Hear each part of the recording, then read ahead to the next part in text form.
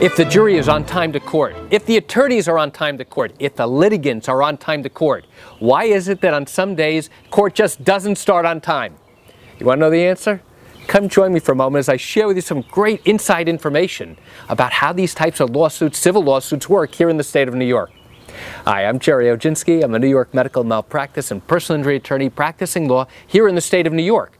Now, at the very beginning of trial, the judge is going to tell the jury they must be on time when he tells them to be. Same thing with the attorneys. Same thing with the litigants. The judge expects everybody to be on time. Why is it that some days, when everybody is on time, we're not starting the trial on time? Let's say the judge says you've got to be here at 9.30 each and every day. So now everybody involved, everybody's in the court at 9.30.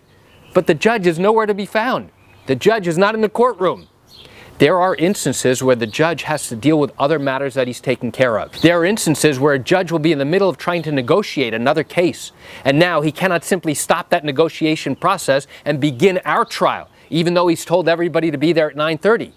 So that's why, on some occasions, the judge is not in the courtroom, yet everybody else is. The jury's waiting, the attorneys are waiting, the litigants are waiting, and now everybody's looking at their watch wondering, I don't understand. The judge told us to be here at 9.30. It's now 10 o'clock, 10.30. We still haven't gotten started. It's likely that the judge has other issues to deal with.